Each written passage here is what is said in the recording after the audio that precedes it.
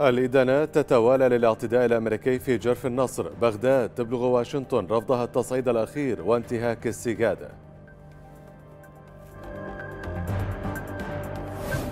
غياب التوافق السياسي يؤجل انتخاب رئيس للبرلمان والكتل السنية تستعد لخوض مباحثات لحسم المرشح.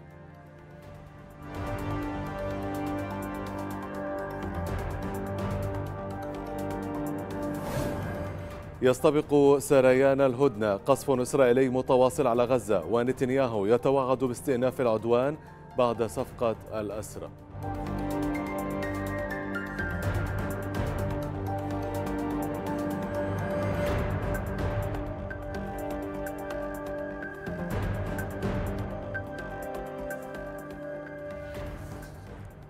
أهلا بكم إلى نشرة إخبارية مفصلة من قناة الرابعة وإلى التفاصيل حيث أبلغ وزير الخارجية فؤاد حسين السفيرة الأمريكية لدى العراق ألينا رومانسكي بأن التصعيد الأخير فيه تجاوز على السجادة العراقية. أخسر خلال لقائه رومانسكي أدان الهجوم الذي استهدف منطقة جرف النصر والذي جرى دون علم الجهات الحكومية في البلاد مضيفا أن ذلك انتهاك خطير وواضح للسجادة العراقية.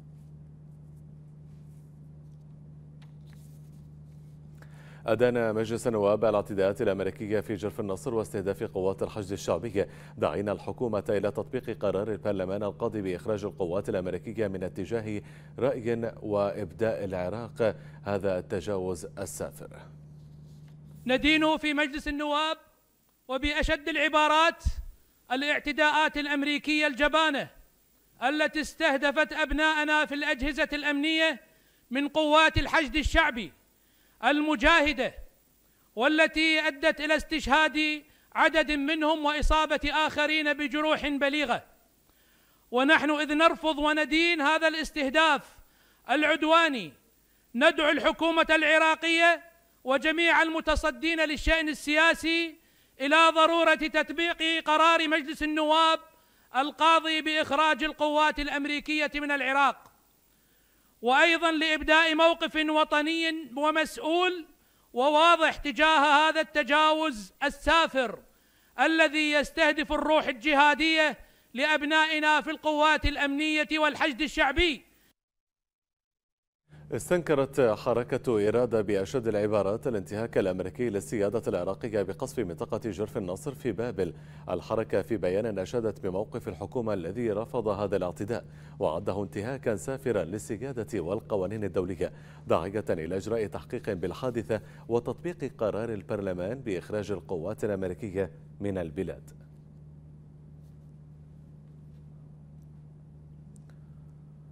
عضو مجلس النواب علي تركي أكد أن دور القوات الأمريكية في العراق ليس للاستشارة وإنما قتالية بجهوزية عالية.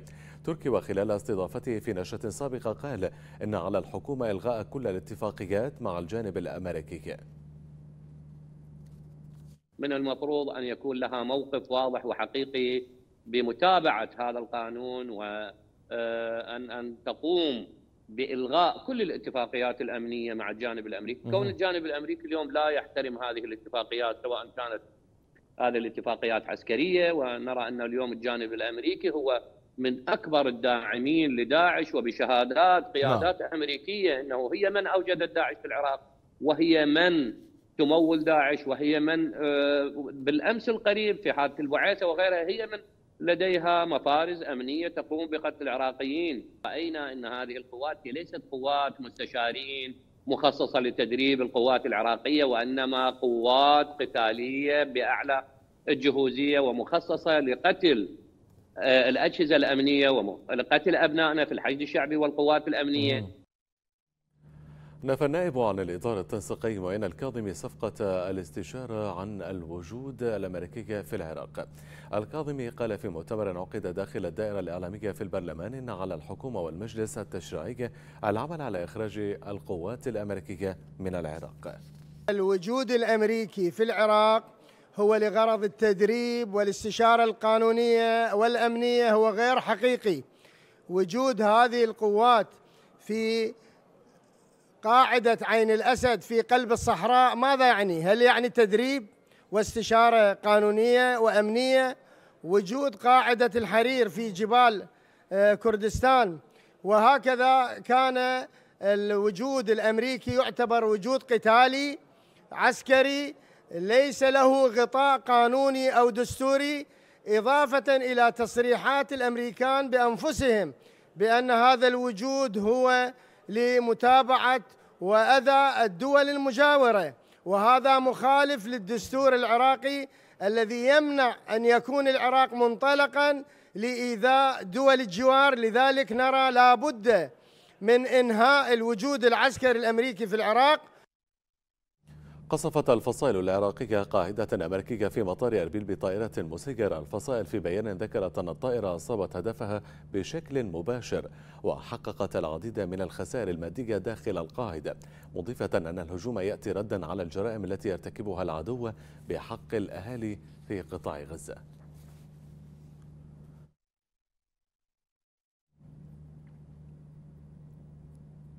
هذا وعدت إيران هجوم العراق على القواعد الأمريكية من أجل استقلاله والدفاع عن إخوانه. وزير الخارجية الإيراني أمير عبد الهيان قال أن لا يمكن للبنانيين والسوريين والعراقيين واليمنيين أن يقفوا متفرجين على ما يجري من ظلم في قطاع غزة مضيفا أن الفصائل لا تعمل بالوكالة لطهران بل من أجل مصالح بلدانها والأمة العربية.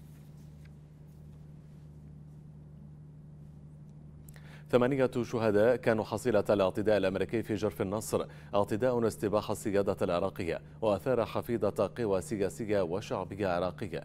ردود الفعل وتداعيات الاعتداء يتناولها الزميل مصطفى علوش في هذا التقرير. بطائرات مسيرة أمريكية تخرق السيادة العراقية من جديد والحصيلة عشرات الشهداء والجرحى. استهداف في غربي بغداد وآخر في جرف النصر شمالي بابل. أعاد من التوترات الأمنية إلى الواجهة من جديد وزاد من مخاوف اتساع نطاقها بين الأوساط الأمنية. الأمر الذي يتطلب من الحكومة تحديد أدوار الولايات المتحدة ومعها التحالف الدولي وفق اتفاقية الإطار الاستراتيجي إنه أصبح لزاما على الحكومة العراقية أن تحدد أدوار الولايات المتحدة الأمريكية ولا تعتبرها ساحة جبهة، نعم قد يكون لك حق الرد لكن هناك أمن قومي عراقي، هناك حياة آه، عراقيين موجودين، سيأخذ مداه في القانون العراقي والدستور العراقي، لا يمكن أن نسمح لأي دولة إن كانت تركيا أو الولايات المتحدة الأمريكية أن تأخذ زمام المبادرة وتقوم بقتل من تقتل وتخرق ما تخرق من القوانين. آه، هناك مبدأ متكافئ في اتفاق إطار استراتيجي بعيد المدى تقول به الولايات المتحدة الامريكيه في قسم الثالث المختص بالأمن بأنها ستراعي الحفاظ على امن واستقرار العراقيين للحفاظ على امن واستقرار المنطقة. وترى بعض الأوساط السياسية أن تواجد القواعد العسكرية الأمريكية داخل الأراضي العراقية يمثل مصدر تهديد للأمن القومي ومنطلقا لتوليد الأزمات الأمنية والتوترات داخل المنطقة لذا ما تتبناه فصائل المقاومة من استهداف لهذه القواعد أحد آليات الردع لهذا الحراك. الآن هنالك استهداف لمواقع عسكرية تعد بمصافي قواعد إرهابية. إذا عدنا للمادة سابعا في الدستور العراقي ثانيا تقول أنه العراق سيحارب كل أجيال الإرهاب ويحارب الإرهاب بأنواعه ولن يكون منطلقا للإرهاب يعني تكون الأرض العراقية. اليوم القواعد الأمريكية أصبحت قواعد إرهابية. دليل ذلك آلة الحرب الأمريكية الآن تستخدم لإبادة الشعب الفلسطيني. استهدافات قوبلت بيانات غاضبة لمختلف الفعاليات السياسية ومنها تحالف نبني الذي أكد موقفه الداعم لتوجهات الحكومة الداعمة لإخراج القوات الأمريكية من العراق. بموقف رافض لجميع الاعتداءات الخارجية على الأراضي العراقية تقابل الأوساط الأمنية والشعبية الهجمات الأخيرة التي استشهد إثرها عدد من المقاتلين.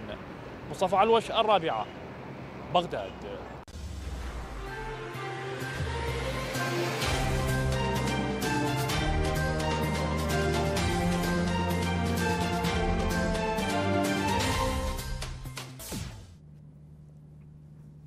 أجل مجلس النواب انتخاب رئيس جديد له إلى حين تحقيق التوازن السياسي.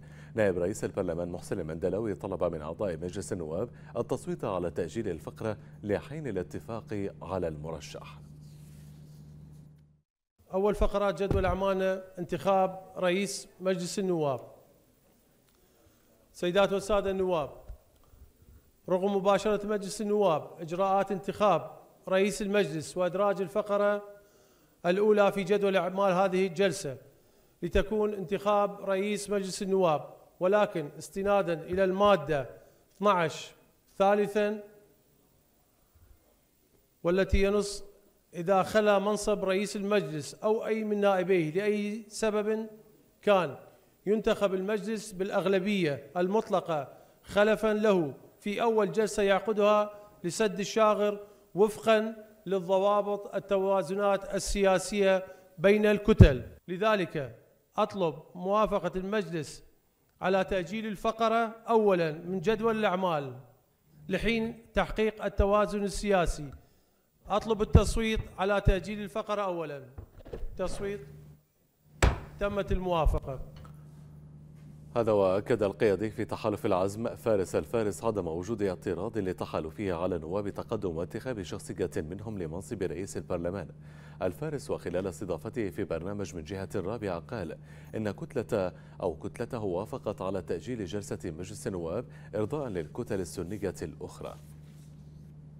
لم يمضي الكثير على آه، إنهاء عضوية رئيس البرلمان وما زالت أمور التشاور ويحتاج لمنصب مهم وكبير في يعني الدولة العراقية. كتلة عزم مادين ايادينا للآخرين يعني واليوم يمكن رضينا بتأجيل انتخاب رئيس البرلمان ارضاء لبعض الكتل السياسية السنية خلينا نقول اللي المفروض آه، تكون تقدم مرشحها ما عندنا اعتراض عليهم. تقدم ليس علي لدينا اعتراض بالإجماع. خلينا نقول على رئيس تقدم حزب تقدمنا اعتراضنا جملة وتفصيلا. أما البقية من أعضاء تقدم فهم آه، نواب من المكون ولهم حق التقديم وممكن يمكن أحنا نرضى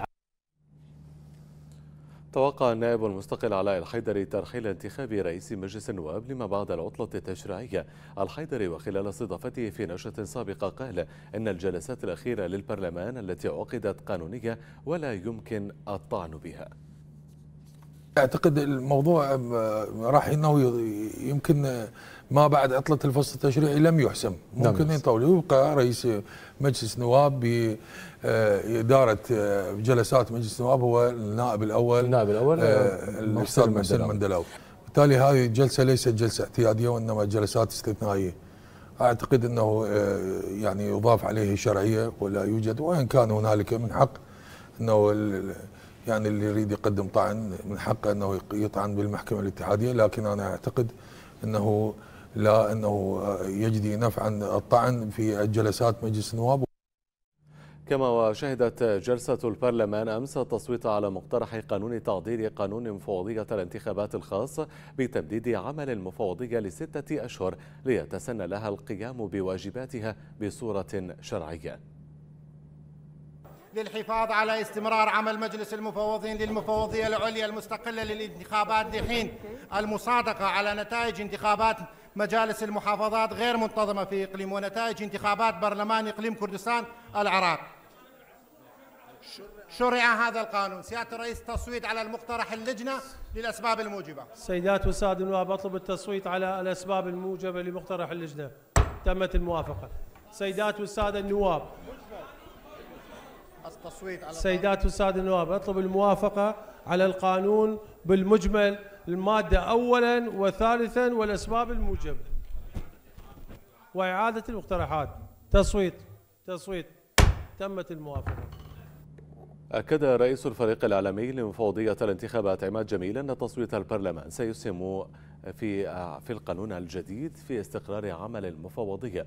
جميل خلال استضافته في تمديد أو أضاف في نشرة سابقة أن عمل أو تجديد عمل المفوضية تغطي انتخابات مجالس المحافظات الشهر المقبل وانتخابات برلمان الإقليم مطلع العام المقبل. وجود آه، مجلس المفوضين على هرم المفوضية وإدارتها لأن القرارات في آه، إجراءاتها بعد الانتخابات راح تكون هي في بيد مجلس المفوضين ووجود مجلس المفوضين والمصادقة نعم. على نتائج الانتخابات وكذلك المصادقة على أسماء المرشحين الفائزين وبذلك هذه الفترة التي تم تمديدها للمجلس ستغطي انتخابات آه، مجالس المحافظات اللي راح تجري في 18 12 2023 وكذلك الاستحقاق الانتخابي لانتخابات برلمان الإقليم في 25 2 2024 أكدت مفوضية الانتخابات أن أكثر من 17 مليون ورقة اقتراع خاصة بالانتخابات المحلية ستصل قريبا عبر مطارات البلاد. مصدر في المفوضية ذكر أن ورقة الاقتراع تحتوي على أكثر من خمس علامات أمنية كما هي متوفرة في العملة النقدية العراقية. بالإضافة إلى وجود ماسح ضوئي لا يمكن تزييفه حتى لو تم استنساخ الورق ولفت إلى أن اللجنة الأمنية العليا للمفوضية أمنت مراكز الاقتراع والمواد اللوجستية في مخازن خاصة.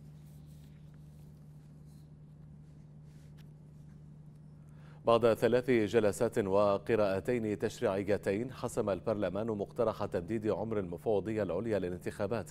المقترح تضمن تمديد عمر المفوضية ليكون 54 شهرا لمنحها الوقت الكافي لإغلاق ملف الانتخابات المحلية. بعد قراءتين وبجلستين استثنائيتين البرلمان يصوت في جلسته الاستثنائية الثالثة على تعديل قانون المفوضية العليا المستقلة للانتخابات الذي مدد ولاية عمل مجلس المفوضين لستة أشهر لاستكمال أعماله بإقامة انتخابات خالية من الإشكالات. بعيد عن آلية الانتخاب وآلية عمل المفوضية واستعدادات المفوضية إحنا أمام تاريخ آه، بات وملزم وهو تاريخ 7 1 2024 انتهاء ولاية مجلس المفوضين الحالي. الانتخابات تجري يوم 18 12 المفوضية بحاجة إلى ما بعد الانتخابات لا أقل من شهرين. نظر بالطعون بالشكاوى. اختيار مجلس مفوضين جديد هذا ربما يحتاج إلى وقت أكثر وأطول. فصار رايي بأنه تمديد عمل مجلس المفوضين الحالي لمدة ستة أشهر. الغطاء القانوني لإدامة عمر المفوضية حتى المصادقة على نتائج الانتخابات قد وفره البرلمان لمجلس المفوضين الذي تنتهي ولايته في السابع من كانون الثاني العام المقبل. وهنا ستكون المساحة أوسع للمفوضية في إدارة العملية الانتخابية وللأطراف السياسية في حال ذهبت بمسار الاعتراضات. تمديد فترة المفوضية. نعم تعلمون حاليا لربما انتهاء هذه المفوضية آه، بعد الانتخابات مباشرة بفترة قليلة آه، لن تستطيع واقعا القيام بمهامها وواجباتها. لماذا؟ هناك ربما تكون آه، طعون ربما تكون انتهاكات معينة اعتراضات من قبل القوى السياسية وهذا ما شاهدناه سابقا. وبالتالي موضوع تمديد عمل المفوضية نعم عمل مهم جدا وهو مكمل وبصورة رئيسية لاستكمال حلقات الانتخابات القادمة. لضمان انتخابات شفافة ونزيهة بإعطاء مساحة عمل كافية لمجلس المفوضين. البرلمان يصوت على تعديل قانون مفوضية الانتخابات بجلسة استثنائية ثالثة. أحمد ليث بغداد. قناة الرابعة.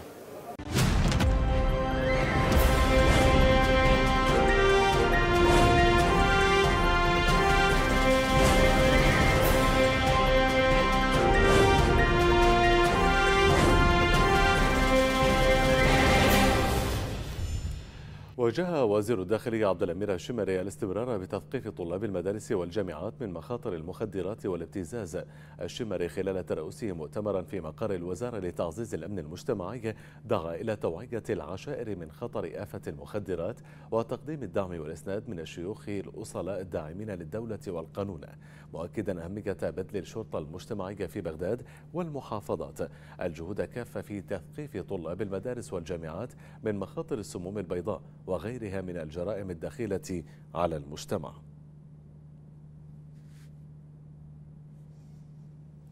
أرقام غير مسبوقة تعلنها الأجهزة الأمنية عن المتاجرين منذ أشهر. أما أسباب التعاطي وارتفاع النسب نتابعها مع مراسلتنا زينب ستارة أكثر من 13 ألف تاجر ومروج ومتعاطي مخدرات في قبضة القوات الأمنية خلال الأشهر العشرة الماضية. مما يؤشر لخطر استفحال هذه الظاهرة في البلاد. تجارة وتعاط وغيرها. أحكمت الداخلية على هذه الممنوعات بضبط أكثر من ثلاثة أطنان ونصف الطن من المواد المخدرة المختلفة بعملياتها النوعية المتصاعدة. نعم قامت وزارة الداخلية بسلسلة من الإجراءات. أولا آه، ضرب التجار آه، الدوليين والتجار المحليين بالدرجة الأولى ثم ضرب المروجين والناقلين. باستخدام التقنية الحديثة بالتعاون مع الأجهزة الأخرى من يعني خلال هذا العام أكثر من 13 ألف تقريبا وضبط ما يقارب 3.5 طن و15 طن من المؤثرات العقلية. وتعددت أسباب التعاطي وفق رؤية مواطنين منها ارتفاع نسبة البطالة ومعدلات الفقر في العراق ليرفعوا المطالبات بتكثيف الجهود الاستخبارية والحملات الأمنية للحد من خطورة هذا الأمر. طبعا يعني في الآونة الأخيرة انتشرت ظاهرة تعاطي المخدرات وخاصة من فئة الشباب. يعني ونلاحظ يعني أسباب كثيرة منها البطالة. هذا سبب رئيسي يعني إنه الشباب تائه بين الكوفي شوب وغير أماكن.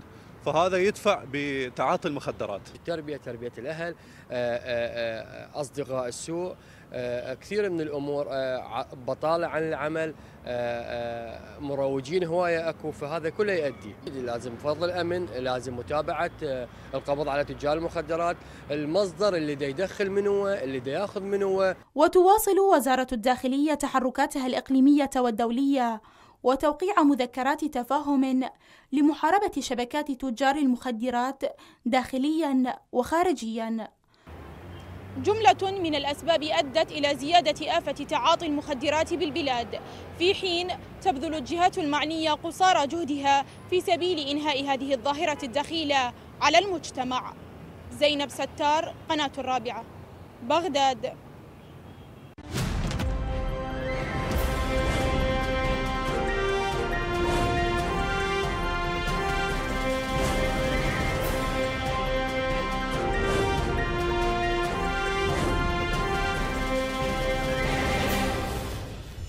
وزارة الإعمار والإسكان والبلديات العامة وجود تلكؤ في الأعمال الخدمية التي تنفذها الوزارة لفك الاختناقات المرورية.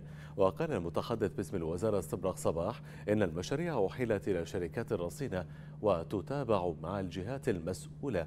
فضلا عن المكتب الهندسي والاستشاري الرصين مؤكدا تأسيس فريق عمل مختص لكل مشروع ينفذ حاليا من جميع الجهات المرتبطة من وزراء الكهرباء وأيضا النفط وأمانة بغداد والدفاع.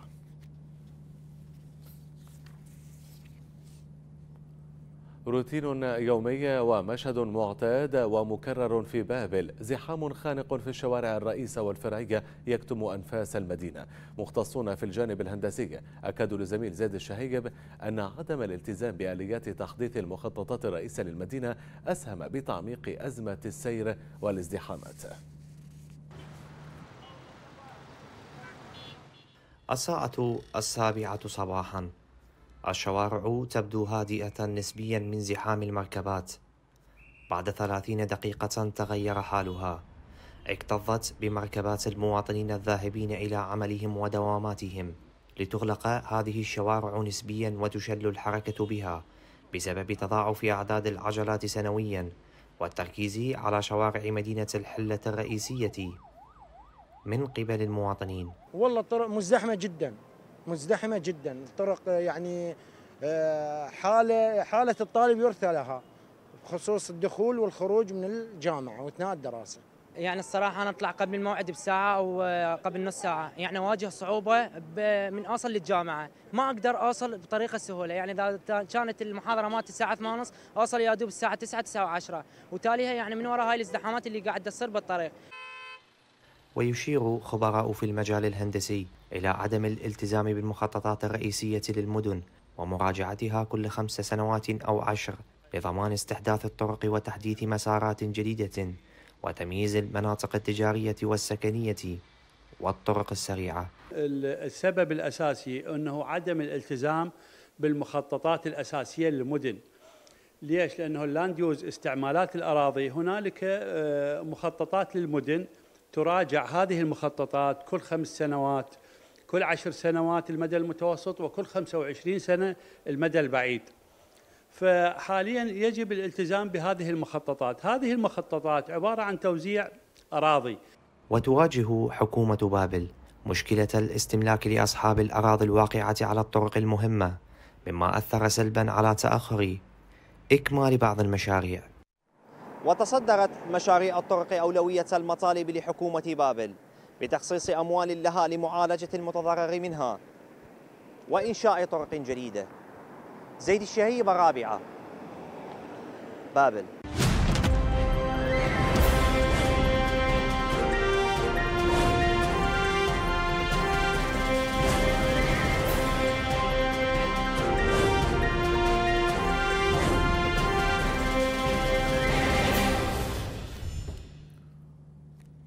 تواصل قصف الاحتلال الإسرائيلي على مناطق عديدة في قطاع غزة مخلفا عددا من الشهداء والجرحى والمفقودين وسط غموض بشأن موعد بدء الهدنة.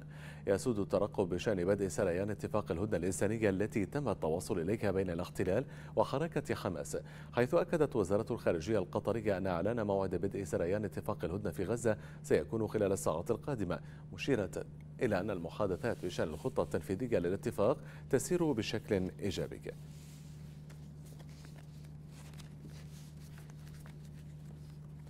زعم رئيس وزراء الاحتلال الإسرائيلي بنيامين نتنياهو أن العدوان على غزة سيتواصل بعد الانتهاء من الهدنة وسقط تبادل الأسرى وأخبر نتنياهو وقال أنه أخبر الرئيس الأمريكي جو بايدن أن إسرائيل ستواصل بعد صفقة حربها على غزة لإعادة كل الأسرى كما زعم أيضا أنه أبلغ جهاز جهاز الموساد بأنهم قد يعمل أفرادا وقادة حماس أينما وجدوا. أعلنت جمعية الهلال الأحمر الفلسطيني إجلاء 190 شخصا من المصابين من مستشفى الشفاء في غزة إلى مستشفيات أخرى.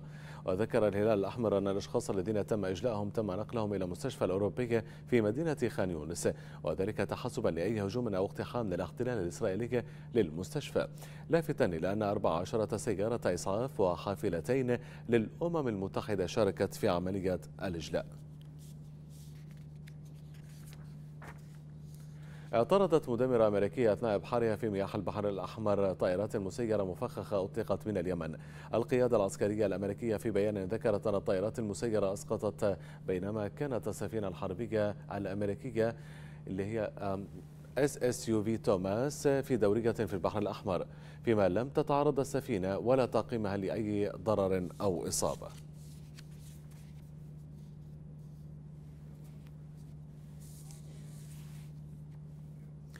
للحديث آخر حول آخر المستجدات في قطاع غزة ينضم إلينا مراسلنا هناك محمد البلبيسي محمد بعد التحية ضعنا في آخر التطورات لديك في القطاع. نعم فوزان آخر التطورات مزيدا من القصف الإسرائيلي ومزيدا من المجازر ارتكبها الجيش الإسرائيلي في قطاع غزة في معظم مناطق القطاع من الشمال حتى الجنوب. هذه الليلة الماضية كانت ليلة عنيفة جدا. نعم. وكان ينتظر الفلسطينيون هنا بدء سريان اتفاق التهدئة الذي أعلن برعاية قطرية ومصرية ودعم أمريكي. ولكن سرعان ما تغير الحال وأعلن بأن لم يتم تحديد موعد هذه الهدنة لهذا اليوم وأعطوا 24 ساعة أخرى على أن يكون بدء سريان التهدئة خلال الساعات القادمة أو صباح يوم غد الجمعة. نتحدث أن هناك بعض الإشكاليات التي حصلت في المفاوضات بين الجانب الفلسطيني والجانب المصري حول هذه التهدئة والوصول إلى صيغة نهائية وتطبيقها وبدء سريانها لبعض الخلل الذي حصل حيث قال الجيش الإسرائيلي والحكومة الإسرائيلية بأن حركة حماس لم تقوم بتزويدهم بأسماء هؤلاء الأسرى الذين سيتم. كان من نعم. المفترض إطلاق سراحهم خلال هذا اليوم لبدء سريان هذا التهدئة فامتد هذا الوقت و طلب من الوسطاء تمديد هذا الوقت حتى يتم البدء بسريان هذه التهدئة. ولكن على أرض الواقع وفي الميدان هناك غارات إسرائيلية عنيفة واشتداد المواجهات بين المقاومة الفلسطينية وبين الجيش الإسرائيلي الذي كثف بغاراته نعم. الليلة الماضية وحتى هذه اللحظات العشرات من الغارات في مدينة جباليا شمال قطاع غزة في حي الزيتون تم استهداف مسجد الشافعي وهو في منطقة عسقولة واستهداف عدد من المساجد وأيضا استهداف مناطق مختلفة ومراكز إيواء في شمال مدينة غزة ومركز المدينة. حي الصبرة الليلة أو في صباح هذا اليوم قامت طائرات الاحتلال الإسرائيلي باستهداف مربع سكني كامل يتبع لعائلة الحساينة وأبو شريعة وهذا المربع يوجد به عدد كبير من من السكان لم يخلو هذه المنطقة. أيضا في منطقة حي الزيتون وحي نعم. الشجاعية كان هناك غارات عنيفة. منطقة الوسطى كان لها النصيب الأسد بالغارات مخيم النصيرات ومخيم المغازي مخيم النصيرات. كان هناك عدد كبير من الاستهدافات للمنازل المواطنين وأيضا استخدام الأحزمة النارية على المربعات السكنية نعم. التي يتواجد بها النازحين. وكانت كثافة والاحتلال على ما يبدو كان يريد استغلال هذا الوقت قبل دخول التهدئة لارتكاب مزيد من المجازر محمد وزيادة حول أعداد آه، الشهداء يعني حول والجرحى. التص... حول التصريح الذي ذكر أن هناك عملية اعتقال طالت آه، يعني الكوادر الطبيه داخل مستشفى أو مجمع الشفاء الطبي ومنها نعم، مدير المستشفى. السيد محمد أبو سلمية يعني ما هي أبو سلمية. هذه الأخبار بالتزامن مع القصف الإسرائيلي واشتداد الغارات على مناطق مختلفة من قطاع غزة الجيش الإسرائيلي بعدما سمح بالتنسيق مع الصليب الأحمر ومنظمة الصحة العالمية بإخراج المرضى والنازحين بحافلات قلتهم من مجمع الشفاء الطبي وقلت أيضا عدد كبير من الكوادر الطبية الذين كانوا يتواجدون بمجمع الشفاء. تم إخلاء هذا المجمع بالكامل وآخر من خرج هو الدكتور محمد أبو سلمية مدير مستشفى ومجمع الشفاء الطبي. ولكن سرعان ما قام الجيش الإسرائيلي باحتجاز هذه القافلة أو هذه الحافلة على الحاجز الذي يتواجد في شارع صلاح الدين وتم توقيف هؤلاء المرضى والكوادر الطبية لأكثر من خمسة ساعات. جرى التحقيق مع الجميع واعتقل المدير الطبي ومدير مجمع الشفاء محمد أبو سلمية برفقة عدد من الكوادر والأطباء وأيضا باعتقال عدد من المرضى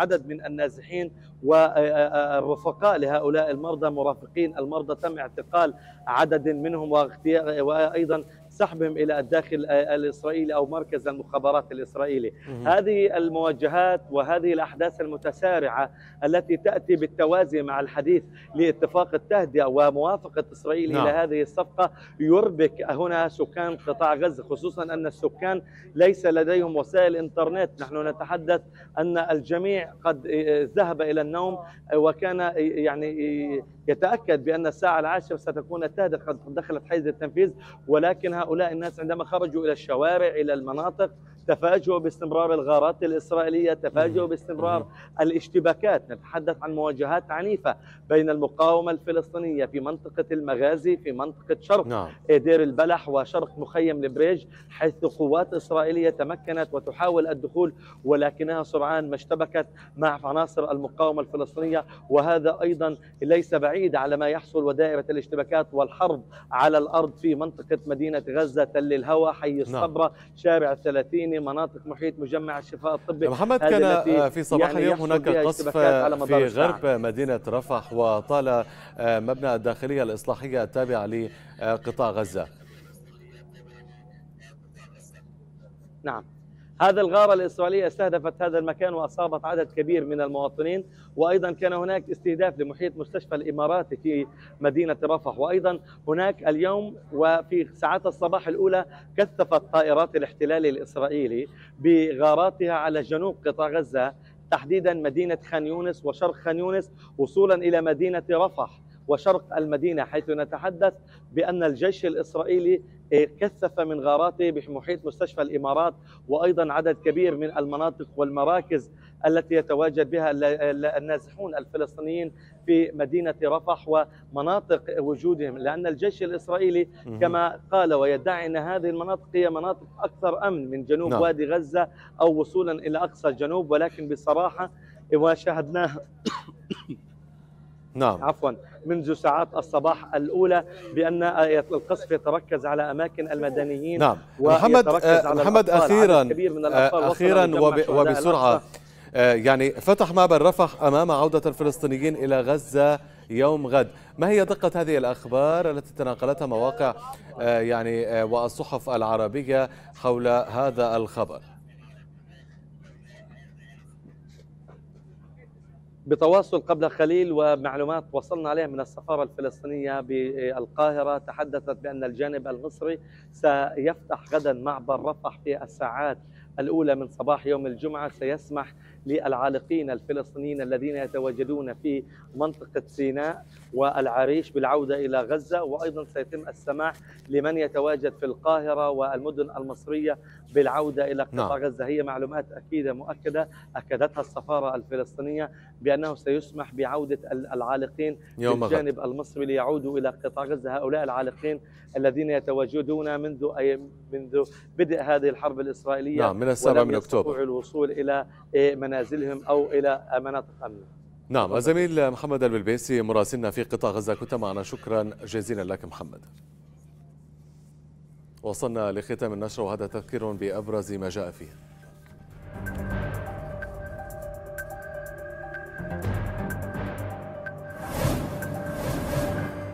الإدانات تتوالى للاعتداء الأمريكي في جرف النصر. بغداد تبلغ واشنطن رفضها التصعيد الأخير وانتهاك السجادة.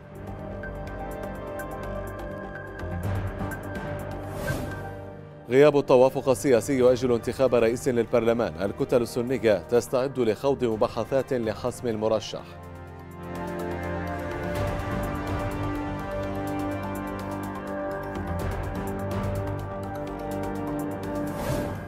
يستبق سريان الهدنة قصف إسرائيلي متواصل على غزة ونتنياهو يتوعد باستئناف العدوان بعد صفقة الأسرى.